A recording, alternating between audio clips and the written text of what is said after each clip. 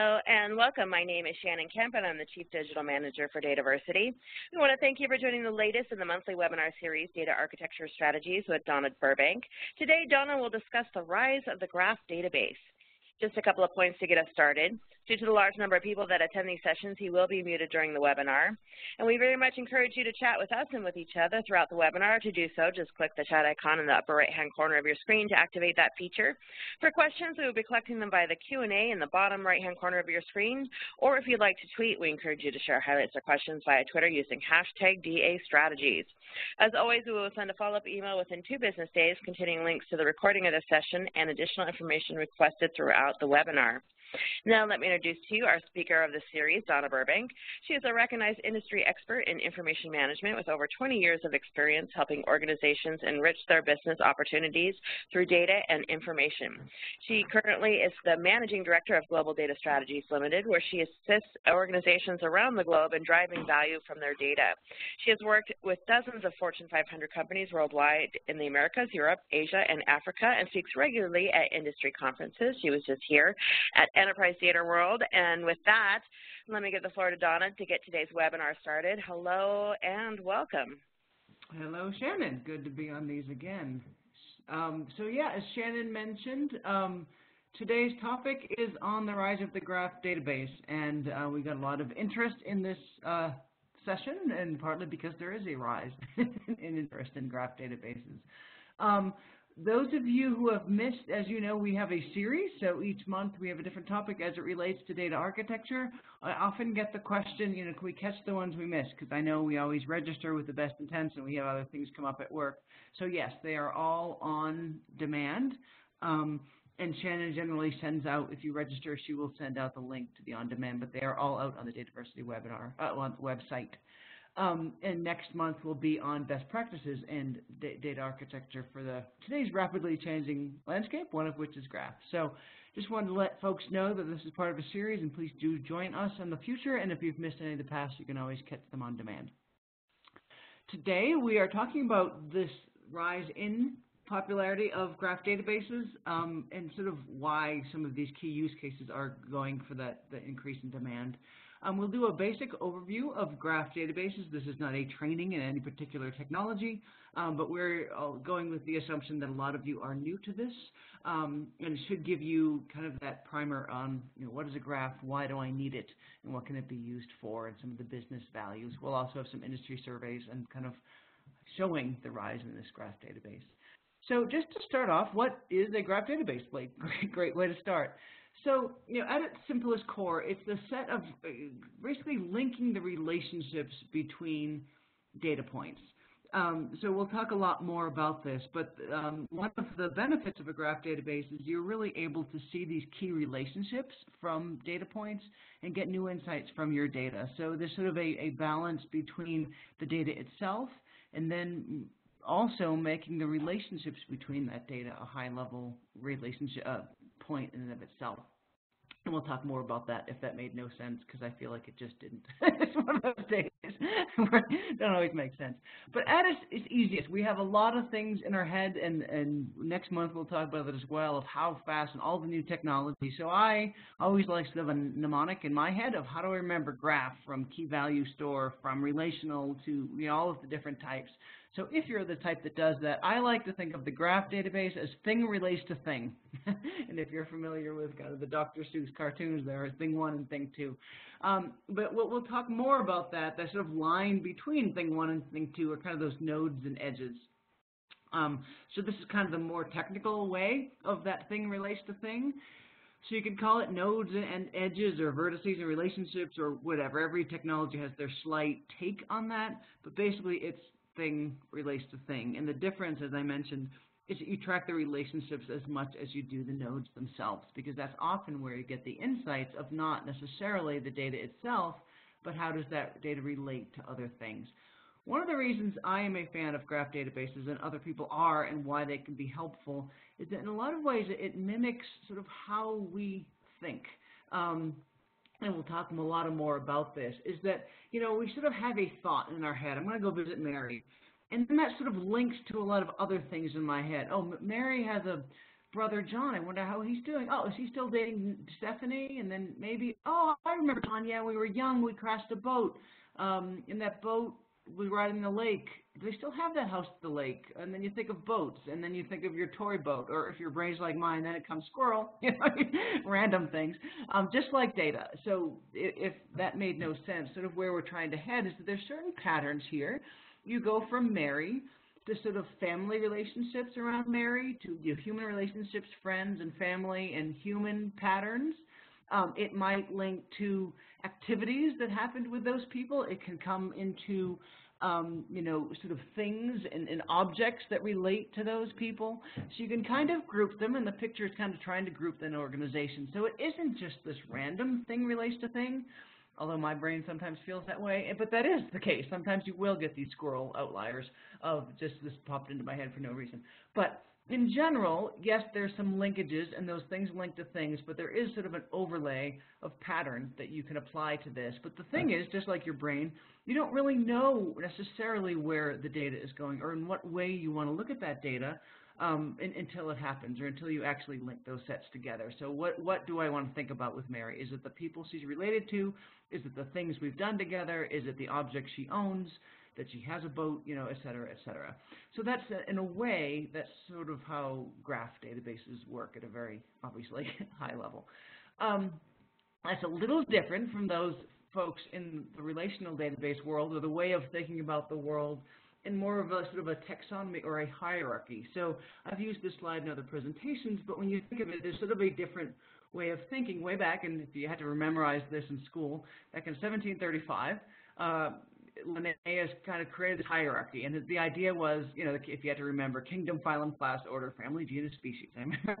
so you have a, um, a frog that's in a certain genus, you know, so all of that, so trying to organize the world, or a plant can be organized in a certain way the, the thought back then, and this still has a good place now, is if we could just classify everything, you know, we're smart enough that everything has its place in the world and everything is in an organized bucket and I can order it. In my mind, that's a bit like a relational database where I'm going to define the things I want to order.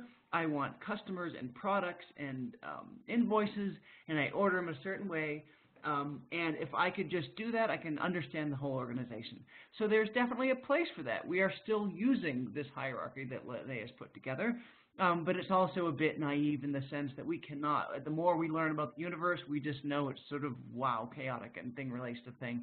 So it's a bit like um, the organization's data, that some things we can put in a warehouse, and you should organize. If I'm trying to organize species on the planet and do scientific discoveries on it, you know, think of the periodic table of elements, there's a lot of order and there's a lot of structure. But then there's not, right?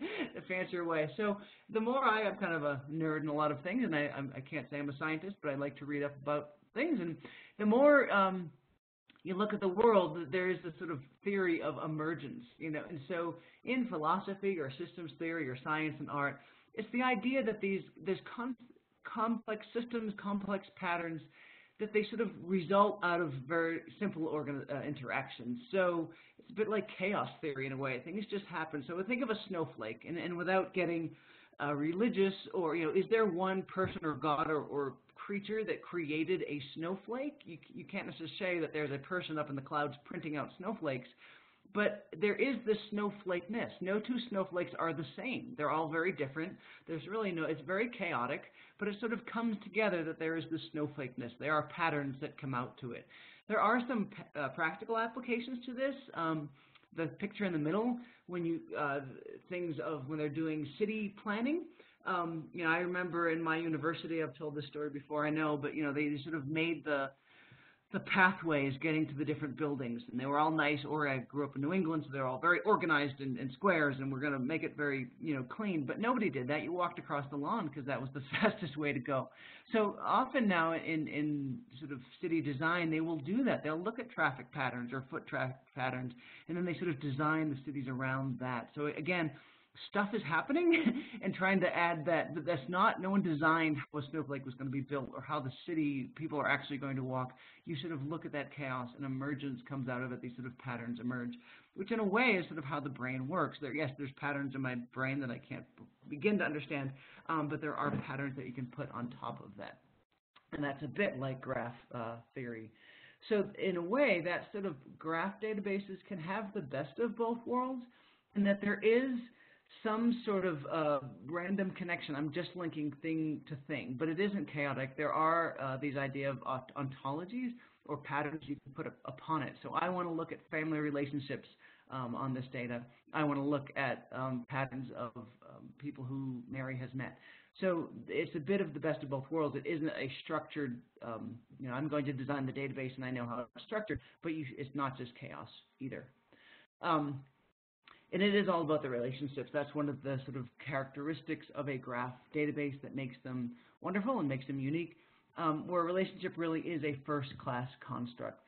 You know, kind of ironically, we talk about relational database, but they're really not about relationships at all. So a friend of mine, Karen Lopez, had a great quote that I have down there at the bottom.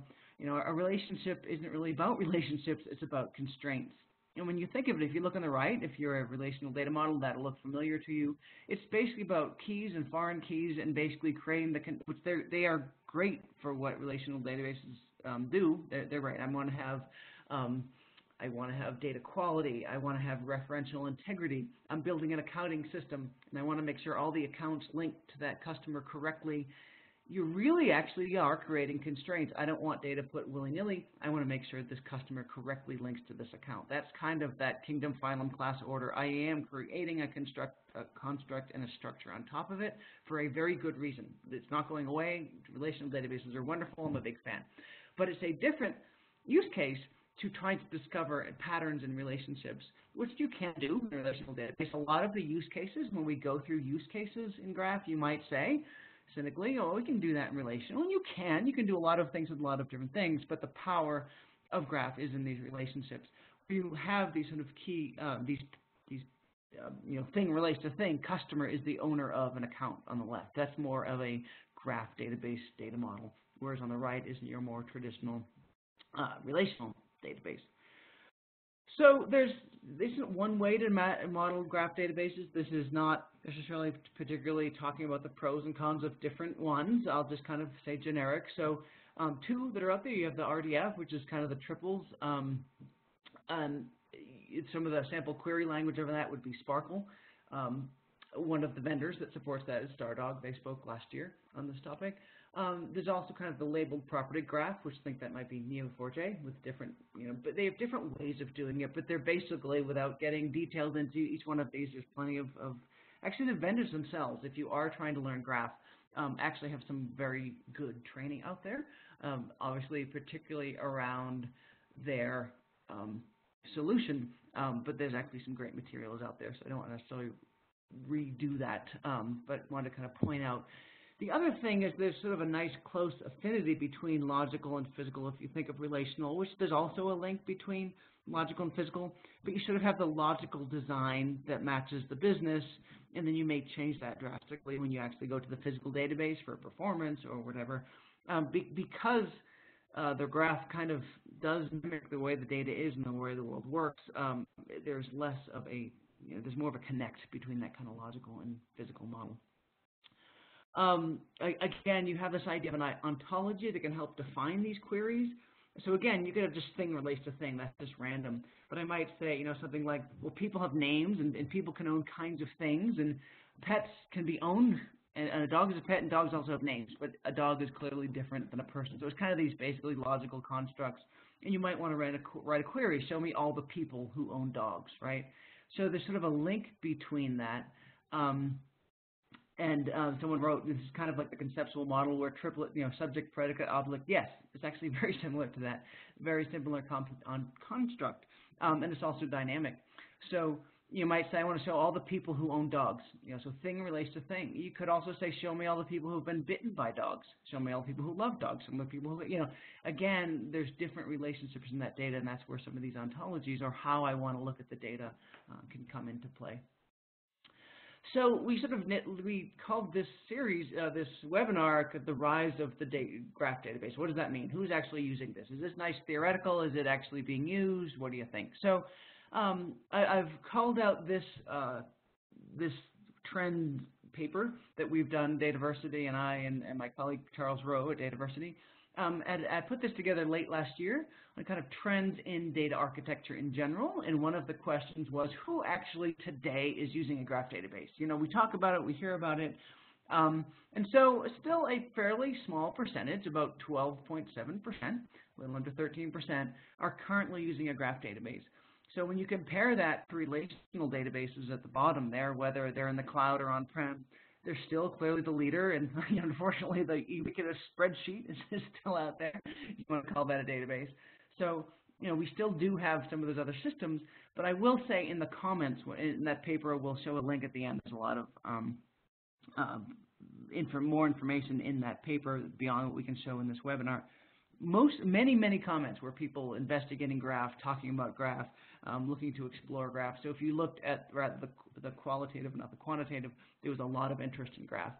So the other slice of this is, you know, what am I using today? So it could be that I, am using relational and I hate relational and I want to go to something else, right? Um, I'm not saying that's the case, it's just an example. So we did ask the question, who's using it in the future? And you'll see that that's a lot higher, um, more 22.6% um, of folks are looking or planning, actually, not just looking to, but actually planning on implementing graph databases. And that's a big jump. To be fair, and I, I find this uh, graph itself very interesting, so when you look at the one before, what are people using today? It's the big players, unfortunately, spreadsheets and relational databases, some XML, JSON, that kind of thing. Um, and those just jump out as being huge um, leaders.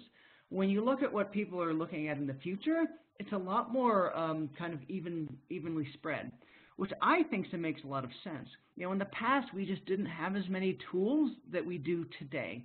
And I, you know, you've probably heard me vent about this if you've heard me speak, right? Of, of I'm, I'm a, I get upset when vendors are saying crazy things like, you know, relational databases are going away and it's all going to be big data, or we don't need uh, big data. We're all going to use NoSQL. We're not going to use, you know, it, it's what horses for courses, I guess. Is that one of the, you know, the beauty of the environment right now in data architecture is that we do have so many choices. And depending on your use case, there's a lot more technology that can more act. We don't have to put everything in, in a relational database and make it try to fit your use case. I am using um, real-time streaming data. I, maybe I want to put that on the big um, Internet of Things data, put that out on a S3 bucket or a big data platform, right? So um, the fact that this is 20% is actually a higher percentage in a way because it isn't as um, all, all, or nothing, if that made any sense. Um, you will see a leader here is big data. A lot of people are looking at that, but that is not exclusive. These are check all that apply. Another thing I thought was interesting is just a, thought. Um, as we were looking, I, I, always love to look at the past and what people said were going to be the predictions, and we're right. Um, so um, it was back several years ago, Forrester had predicted that graph databases would have about a 25% adoption rate by 2017. So um, they didn't quite get it according to this particular survey we did. And the fact that if you looked at 2017, which is when we did the survey, it was about 12.7. But they're about right if you were looking at what people are actually actively planning to do. So that's actually pretty close. I just find that sort of interesting to see, you know, we, we predicted something, how close are we? So go Forrester, you weren't too far off. Um, um, just to be equal across the uh, different uh, analysts, I have no favorite or an unfavorite. Um, if you're familiar with Gartner's sort of hype cycle, you know, we sort of labeled this, you know, the, the, the rise of the um, graph database. Is it rising? Is it falling? Who, who, knows? So if you're familiar with, they sort of have sort of a, a cynical view of the world, perhaps. um, but the, the, you know, we're trying to have the, are we at peak expectations? Are we in the trough of disillusionment? what a great phrase. Are we in the slope of enlightenment? Um, so where are we? Are, are we, you know, totally overplaying the value of graphs? So we're not there.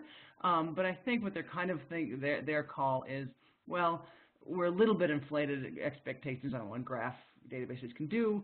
We're not yet disillusioned. Hopefully we can skip the disillusionment phase and go into enlightenment. The, I think the cynicism of this whole idea of this graph is similar to what I was just sort of venting about, in that we, we have this new technology and then we say, oh my gosh, it's going to boil water and also be a floor cleaner. You know, it, it is what it is and it's very good at what it does. And hopefully webinars like these help clarify what these things are good for, what they could be interesting about, but they're not going to solve world peace. Um, and they can just do certain things. So um, I, I, would probably agree with Gartner's take there. I, I think people are using it. There's some interest, um, it, and then a little bit into past the peak of thinking it's you know the best thing since sliced bread, but it is awfully, awfully interesting and a lot of interesting things to think about it. So what I'd like to do next is get your opinion. So we have 185 people currently on this webinar. I want to hear what you think. So we've got a few surveys, and I'm going to pass it over to Shannon um, to ask her to do similar questions to we just saw in the industry. So Shannon, if we can line up this first survey. And we have a bit of a, a challenge. So I don't know if you heard us before you joined. Shannon was cynical, and she thinks you're not going to answer these surveys because you're multitasking You're not listening to me. So stop multitasking. And I'm going to ask you on the right, you'll see a little poll question. Are you currently using a graph database in your organization? So hit the yes or no, and then you'll need to hit submit at the bottom. And we have a time limit. Um, so we have about 17 seconds left.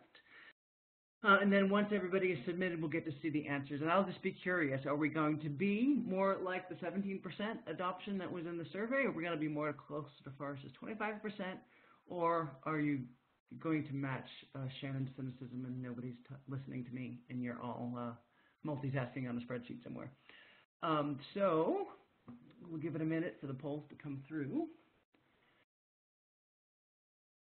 This is where we play the music. Uh,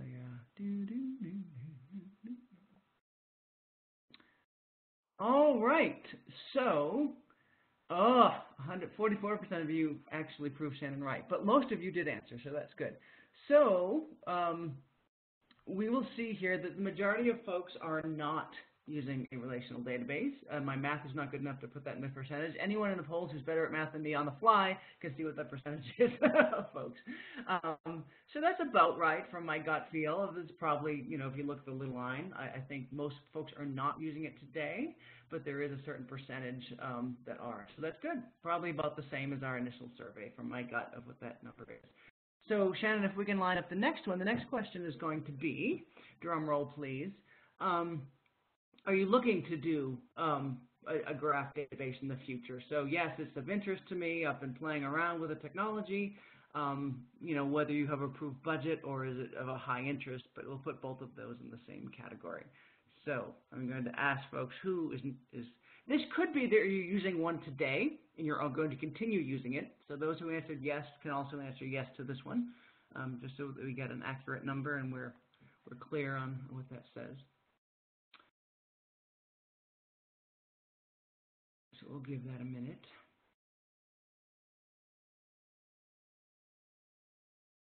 And we'll see. I'll be curious. The poll has ended, and I think we will see the results soon. I don't understand if we have to show it or if it just comes. I think you said it just came.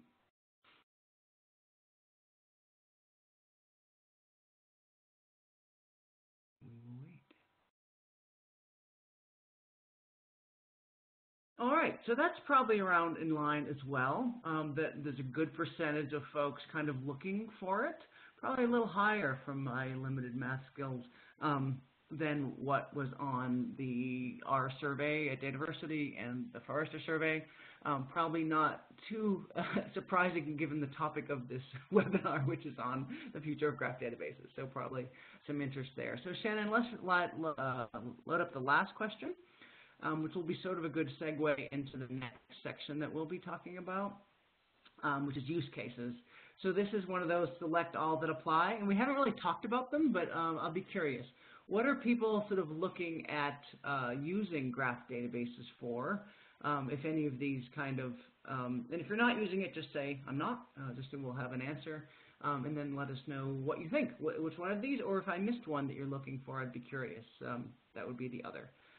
So we'll hit submit, and I'm really curious about this one because it kind of, you know, shows the why, not just the whether um, of what people are doing.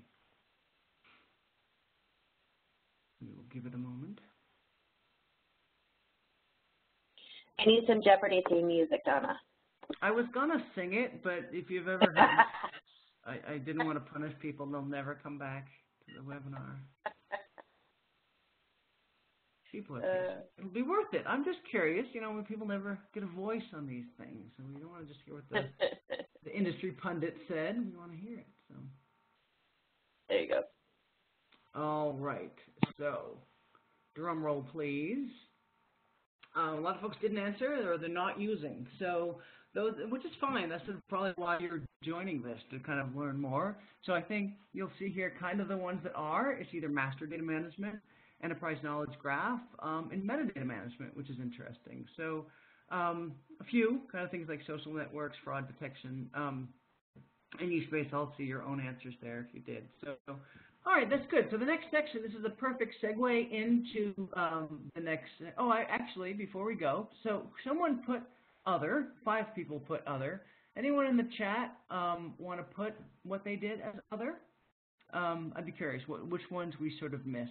Some people said they were interested in what this idea of enterprise knowledge graph, um, and we definitely will be talking about that. But anyone want to put out what the ones we missed? If not, and you're shy, that's fine. I won't belabor this point.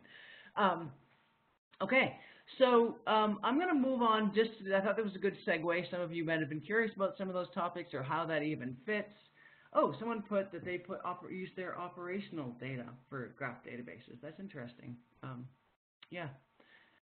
So, um, all right, so we'll go through some of these use cases for graph databases, why this technology could be cool in your organization. And one of the bigger ones um, is this idea of social networks. So when you think about relationships, almost the classic relationship is social relationships. So again, you may have a group of individuals, and the, you know, people individually are interesting. Hopefully Donna is an interesting person. But what can be more interesting is who Donna hangs out with, right? And who she doesn't hang out with. So you go, this is used often for things like uh, terrorist groups. It could be used for things like grouping your customers by like customers of who you might want to sell through. Um, in this case, we want to hear who the cool kids are. So the cool kids are the ones that hang out with Donna, of course. Um, and the people who don't, those who don't like data up in the group, up in the right, you'll see they don't really have many friends because data's cool. Um, and the people in the middle, really, at this point, we don't know. It doesn't mean they're not interesting, but remember with graph, you can sort of ask the question, they're not interesting in this particular, um, uh, this particular use case. Um, Actually, one of the folks that said the other use case put it was classified. Sorry, we can't share. This may have something to do with this type of use case. There's a lot of kind of intel with patterns of people. Uh, metadata was big in the news a while back with people using uh, phone logs, right? And so, you know, people would say, why would metadata be interesting? Well, it's not what I may said on the call. It might be. It might be who I called, right? And someone blew a building, and I made five calls to that person that's kind of the, the link between that person and the metadata about it. So again, it's making the relationship itself kind of that interest. So this is a large, um, great, great use case, and we're trying to kind of query that back. Um, great use for a graph database. Uh, kind of a fun example if you want to be nerdy, but if and maybe we're dating our my age, but um, there's this idea of you know degrees of separation. You know, one of them is what's your um, this is a thing, right? You're if everyone anyone's familiar with the actor Kevin Bacon, you know, what's your Bacon number? Or basically, how many degrees of separation, if you named anyone on the planet, do you have? It's basically the idea of relationships between two people. There actually is a, a Bacon number um, generator on, on a website. So I just picked randomly an actress, right? So Audrey Hepburn. Um, has a Bacon number of three. So it will say what movies they may have been in and then actors or actresses that were in other movies to link. Um, and um, but there's also an idea of, of quality, right? Which Audrey Hepburn, right? So there's a Audrey Hepburn with, with Bacon number of three, and there's also one of two. Could it be a different Audrey Hepburn, right? So uh, graph databases are cool. You can see patterns, but just like anything, the data itself has to be correct and interesting, or you'll get funny numbers. So, but this is a huge, big um, use case for graph databases, and can have that was sort of a, a fun result. So it isn't just people um, that we want to see relationship to. Another use case is sort of fraud detection. So again, you're looking at patterns between data and between data elements, and that's where these graph patterns can really have some good um, interest. So one of them might be an example of maybe it's credit card usage, right? So if I have a certain IP address, you would think that for my IP address, I'm going to buy books on data management online, and I would tend to use the same credit card from my computer. Well, maybe I have a work business card and a personal business card. Okay, that's fine. Or maybe um, my family shares my computer and they all have their own credit cards, so there's like two or maybe three. But when you start to see one IP address with, what are there, seven different credit cards coming from it, that seems fishy, right? Did I just steal a bunch of credit cards and I'm just now buying all data management books? Because, of course, that's what people would buy when you steal a credit card. Um, and so that's just, again, I don't know who IPI is. I don't know what transactions they're doing. I don't particularly care at this moment. It's not the data itself. It's the patterns in the data and some of that, uh, you know, the relationships between them. So again, that's another example where it's the relationships between the data um, that are interesting, not necessarily the data itself. That said, once I find out that this is fraud, I probably do care who and what IP address one is and what it is they purchased and all that kind of thing. So it's not one or the other, um, but this is just a nice way to see those patterns. Um, another common use case is this idea of a recommendation engine. So we've all seen that. Like this, purchase this, right? So when again, that's just patterns. When you compare uh, these online organizations that can do that, have a huge data set of uh, customer interactions and can kind of base patterns. So if you look at customer three there in the green on the left, they bought product two um, twice. They really liked it. Um, and I'm customer one, and I brought product one, and customer three also brought product one, if that made any sense at all. So let me bring out my handy dandy little uh, pen. So, okay, I, am customer one, I bought product one, right? Customer three also bought product one. But look, customer three also really likes this product too, right? So that's where the recommendation says, based on your relationship with customer three who bought the same product, you might also like product two, right? So that's one very simplistic way of showing that. But again, it's the, it's the relationships between people and the relationships between buying patterns um, of other customers. Again, back to the theme of this insight and these findings are only as good as the data itself. It's not only the quality of the data. If I really didn't buy this product, then, then the whole thing is moot, right? But also the volume of the data. These patterns are only interesting when you have enough data. Just like any survey, if you only survey two people, it's not of as value as if you surveyed thousands of people, you get a better result, right? So I am a big old nerd, and I actually was giving um, a presentation on how to use data for other than EDW. I think I've said this before. It's my favorite conference I ever went to. It was the European Outdoor Sporting Goods uh, Society, and uh, they wanted to know how, how they can use data better for selling more outdoor products. And I'm a big outdoor enthusiast, so that was a lot of fun. So I wanted to pick an example that had to do with how I might buy an outdoor product online and, and show this example. So I, I, sort of had a camping axe there on the left, if you're wondering. So I went into one of the big search engines and I said, you know, I want to check out the price of this. What came up was, if you like this axe, you'll also like these coffee filters. And to me, that just seemed really weird. Like, you know, I, I get I bought a book on data management. There's another book by a similar author on data management. That makes sense to me. But yeah, you bought an axe. You'd also like coffee filters. Seems to make no sense. It does make sense in the sense that they probably had very few people. This isn't the most popular um, product, perhaps, but there's some guy up in Canada that was going camping, and those type of coffee filters are actually often are the ones for the coffee pots you use when you're camping. So this person probably bought their axe and they're camping, and they probably also bought a tent and some other things. So it's not that this was wrong. It's just there was such a small data set, it just seemed kind of weird. It's not like there were other types of axe or an axe cleaner or an axe whatever. The other funny thing, which is a little beyond the scope of this is that we're also familiar with content targeting, right? So you look at something once on the internet and it follows you around for weeks. So, so for weeks I sort of had this axe coming up and showing I'm looking for something online and the axe is following me. It was sort of like a bad horror movie. so I should probably should have picked a better example. But again, um, it's a cool technology, but only as good as the data itself that you have. And that's why some of these big online vendors are actually good at this because they just have so many customers to take the answers from. Okay, so another um, use case is, and I'm going to do a comparison here, is this idea of the enterprise knowledge graph, and that there's other ways to call it. Some vendors have kind of come up with this, or I've heard this a lot, it's not the, call it whatever you want. Um, we're trying to get information about all the data across the organization. One way, on the left, and it's a very valid way, we're building one now in a customer of mine, and it's fine, um, is this idea of a data warehouse. I want to know in my warehouse, this is kind of that, um, um, the, what do you call it, the taxonomy, the kingdom, phylum, class, order, family, genus, species, or the periodic table of elements. I'm adding a structure onto the data. So I have all this data across the organization. I know that I want to have total sales by region, by customer, by month. And if you're familiar with this, you, know, you need to create a, uh, there was a model about how customers are stored. I want to create a dimensional model to say read sales by month, and then I create a nice report. And it, that's valuable, it's wonderful, but it's very structured, and you sort of know the answer. Another way to do it is this idea of a knowledge graph. Maybe I just want to know who my influential customers are and that might be I have the most connections. You know, those are the, the example I showed before. Or I just want to see linkages between my data. That there's a link between customers and regions, but it's not that structured. It really is just that thing relates to thing.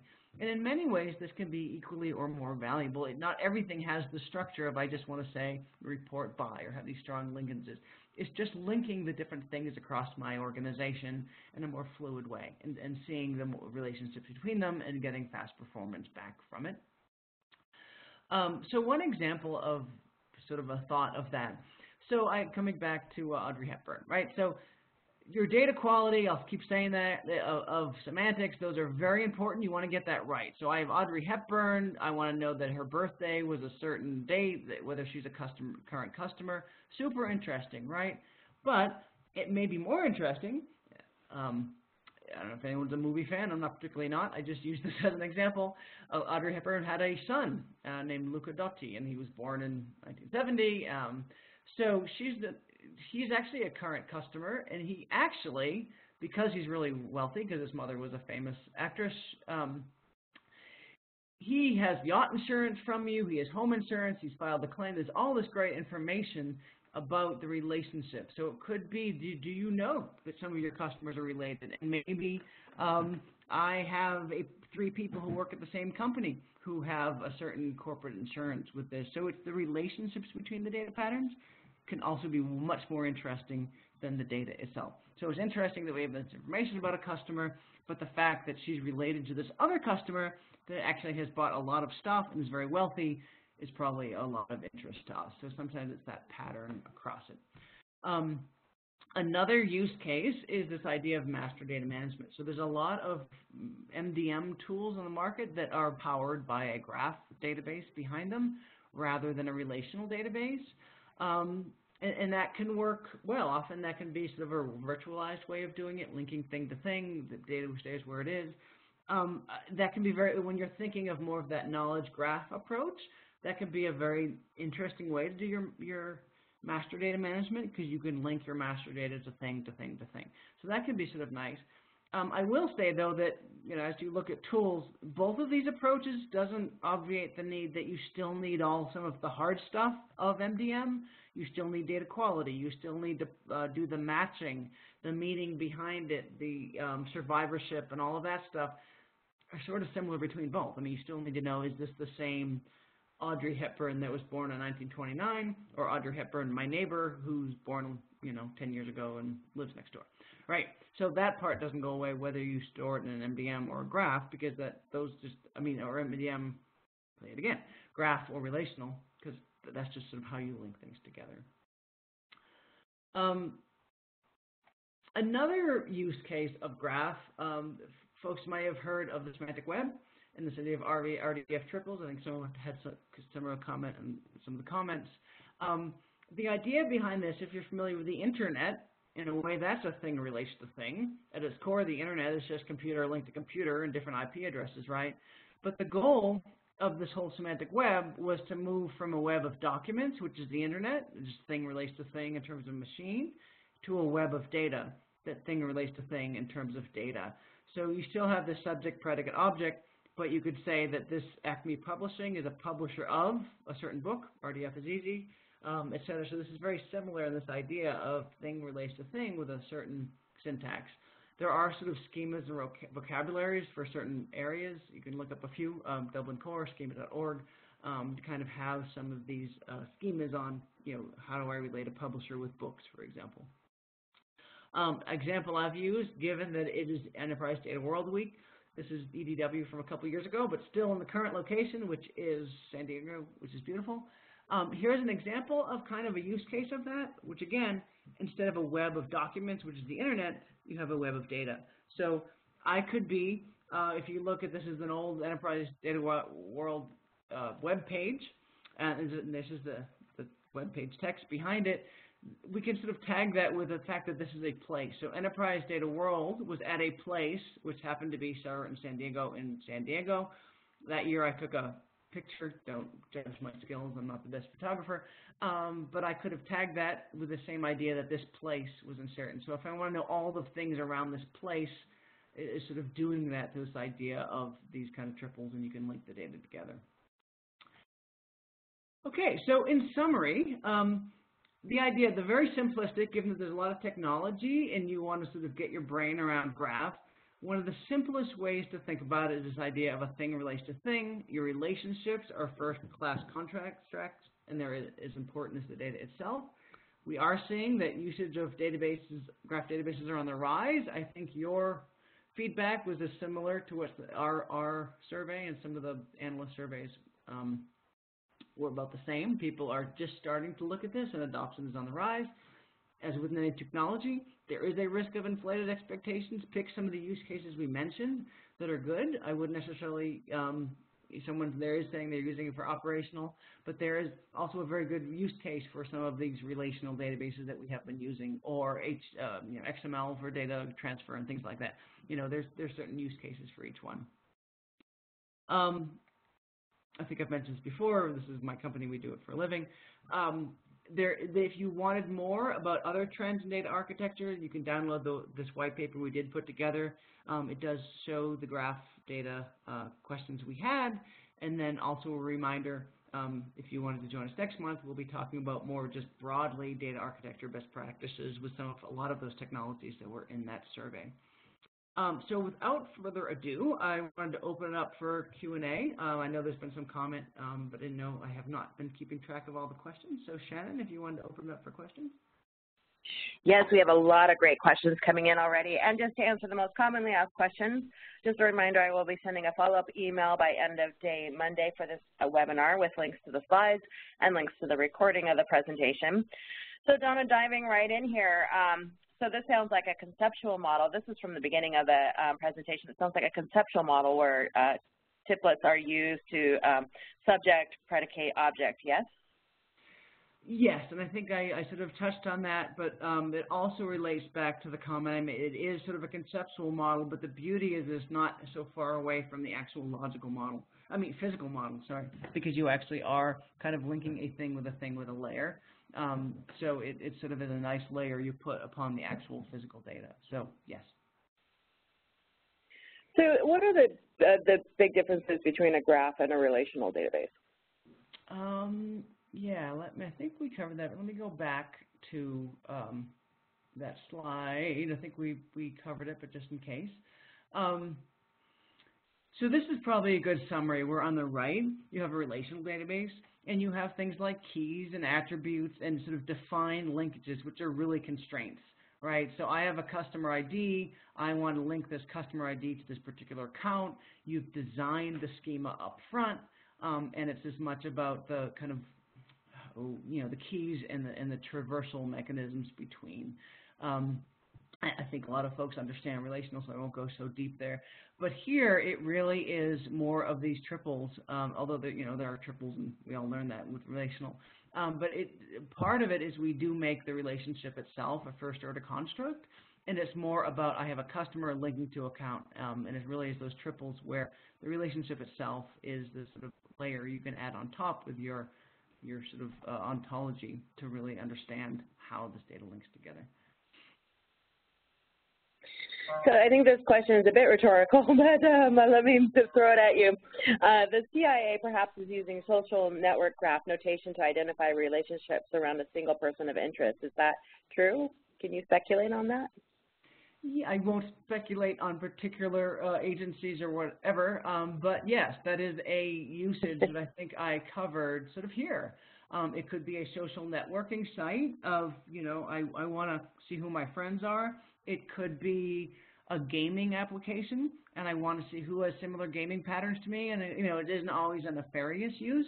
It could be someone's making phone calls to some people, and that person just did something bad, you know, that sort of thing. So, yes, for both good or bad, you can also use this for customer um, profiling. I have this customer that buys a lot, and I have these other customers that this person interacts with. Maybe we should target market with them or whatever. So yeah, for good or bad, this is almost a prime use case of, of kind of thing relates to thing or person relates to person. Oops, sorry, having issues with mute button. Um, All right, so the use of the total borrower exposure calculation is based on the relationships of a single individual when he, she wants to borrow money. I believe um, is another statement if you want to comment on it. Um, I'm not sure I follow that. I might have to read that one. Um, a total borrower equation is, and I can't even read my own. Um, I, I would, yeah, um, total borrower would, yeah, I, am not following. Um, yeah, I'm sorry, I'm not following that one. But that's okay, again, no, so, I, yeah, yeah, I do believe it's more of a statement, but maybe if the questioner can, can clarify, but, uh, I'll get back to that. So well, um, I'll just say one quick comment yeah. on that, just in case I'm. I mean, often you can find. I mean, it could be that um, you can you you can find out say the credit score of that person. You can see who that person is related to. Sometimes the total borrowing could be that there's other activity. You know, with that what activity is that person doing? So it's not just the transaction you saw with that person. It could be linked transactions. You know, they have loans at other places. Um, so uh, that was sort of my comment on that. They may have been trying to thinking of that. So. And uh, this questioner just said, hey, can you throw up uh, page 22 again? They lost their screen for a moment. So um, while I go on to the next question, if you wouldn't mind. Awesome. Hey, Peter. Um, um, so what tools exist to support GDPR right to be forgotten to remove information from graph databases that include PII about uh, European citizens? Oh, there's a good one. Um, so yeah, I mean, this is a good use case for um, kind of detecting that because you can definitely see patterns. You can see links between. Um, as with anything, the deletion can can be, you know, one of the use cases that we mentioned, um, and I was pleased to see that several people on the call were, is this idea of metadata management because that's sort of the linkage. Um, where you can see that this, you know, that almost is your classic lineage, that this person was linked to this and all these different transactions. When you get into the deletion, that's where things get tricky. Um, I think that is a harder question. I think that's what great, great use of the relational database in that, um, you know, you can kind of do some of those cascade deletes. Um, but yeah, delete is always, it's a great way to detect, and, and then deletion, deletion will have the same issues that you would have deletion with anything. It doesn't magically unbreak things that may have been linked. So that that's part of the problem. Even with GDPR, is it a true deletion? Is it, you know, I was working with one customer, and there's also conflicting rules. You know, it may be you need to delete this, but if there is ever a police record of this information, it needs to be kept somewhere. So delete isn't always delete. Sometimes it's delete, store off sites so only certain people have access. But you know, because you know, just delete me and I can't see it in the website. But, you know, so, you know, deletion is always a hard part, but it can certainly help with detection.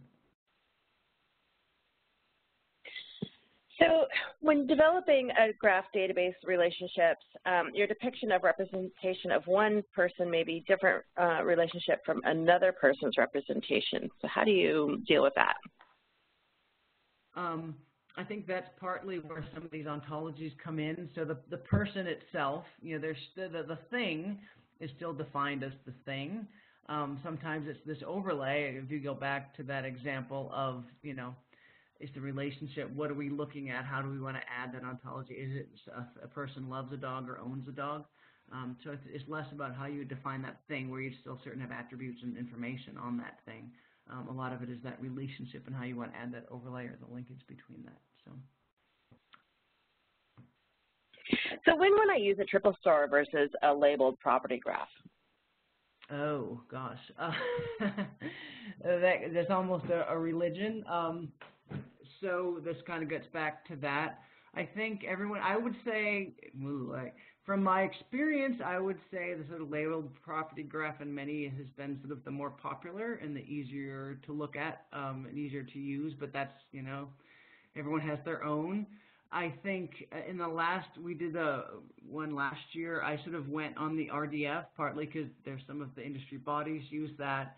Um, you notice the semantic web sort of use that as well. Um, so I will leave that to your preference as some of it. Um, but uh, yeah, I, I, would say in terms of what I see in terms of usage, um, it seems to be more towards that label property graph.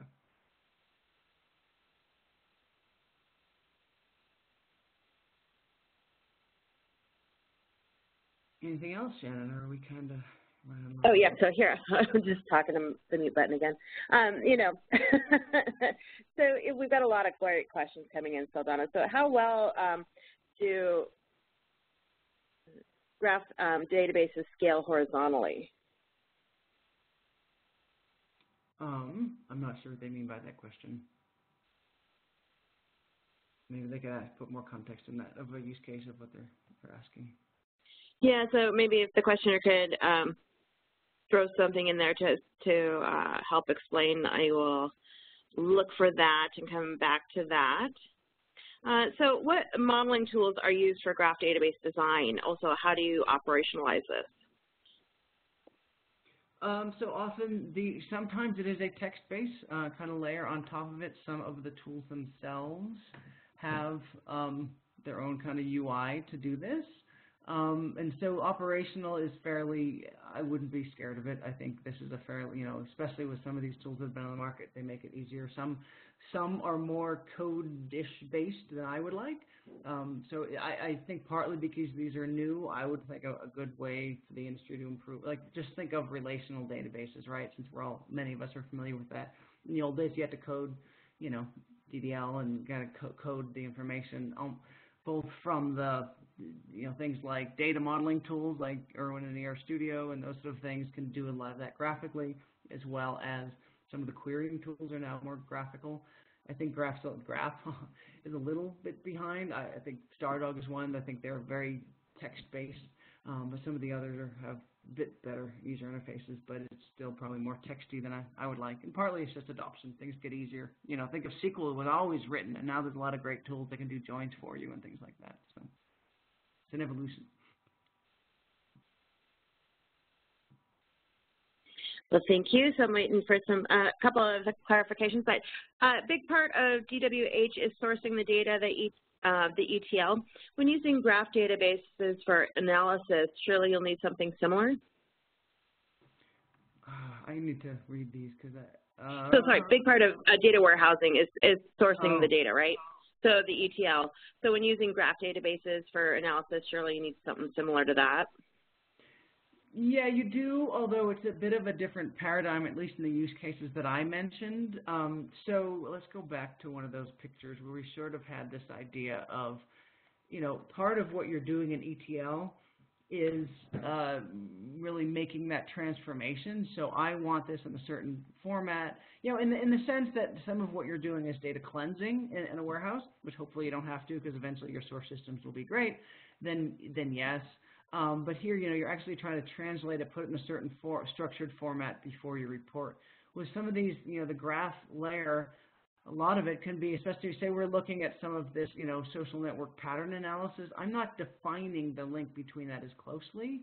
So it's a bit of a looser link. It really is more of a thing relates to thing versus I'm taking field X, transforming it a certain way, plopping it into field Y with this particular lineage transform. It's more just links between, which is kind of, it can be a pro and con. Um, because this is sort of the, the, flexibility of this is sort of the beauty of it.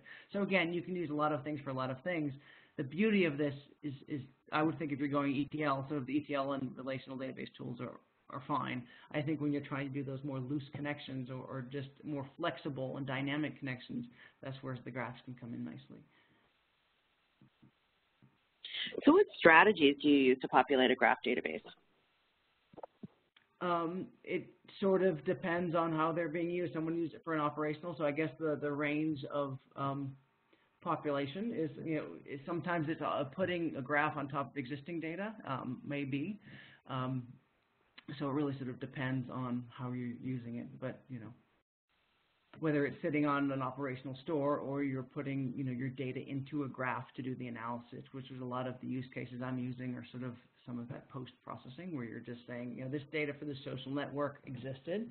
I'm porting that into the, you know, the graph and then doing the analysis on that, which is very different than I'm actually, you know, typing this into a graph, which I probably wouldn't have in an operational system. Although I'd be curious for the person who did say that they used it operationally, kind of how they were doing that. I'm curious. Yeah, and there's a, a question here um, related to the um, to the paper that you, you did, and I'll include a link to the paper as well for everybody. Um, can you comment on the use case of metadata management with graph DBs, which has the highest percentage use as per the poll? Um, yeah, so just to clear, when we did the um, when we did the white paper, um, we just asked, it was more of a binary, are, are you using it or are you not? Um, we'll be doing another one this year, and given the popularity of Graph, we may um, ask that question to see why. So the the feedback we had was just from this group, metadata, so anyone who kind of wants to talk that through um, can talk, but I, I, can talk to it in general. So when you think of metadata management, a lot of that is thing related to things. So I want to see, um, and again, it's not just a thing related to thing. I can say, here's a piece of information, and metadata is so fluid. Who's the the steward of this? Who, what is linked to it in terms of storage? So uh, one of my colleagues actually built their metadata repository. It was on Neo4j, um, and what she liked about it was that she could just, uh, because metadata, there's so many types of metadata that link to a thing. I have a table. Who's the steward? Who is the owner? What other fields are related to? Where's the documentation? It's not as formal constructs as you may have in a relational, and that could be a pro and con. So some some metadata repositories have that formal construct. Here's a table, and here's all the columns. Here's all the um, definitions of those columns. There's a place for that. But at its core, sometimes metadata is much more fluid, and these are all of the sort of tag things around it. So in that case, a graph database is very handy that way because you can just sort of add things in a more dynamic way, which as metadata evolves, that can be very nice. Um, so you don't have, you know, a lot of, there's industry standard meta models, and if you may my metadata repository, it has kind of data warehouse meta model. Um, but with Graph, you can still be, uh, you know, the ontology on there in some structure, but it's a bit more fluid. So I think that's kind of a neat use case for Graph um, because of its flexibility there. So I think we have time for one more question here, Donna, and kind of going back to one of the um, original questions uh, that we, uh, the, the questioner had um, defined it a bit more for us. The use of the total borrower exposure, exposure calculation is based on the relationships of a single individual when he, she wants to borrow money. So that was the original um, post. And then uh, total borrower being an individual borrowed in the UK, then in U.S., then in Iran, and then in Afghanistan, and then Pakistan, et cetera. Should this raise a red flag?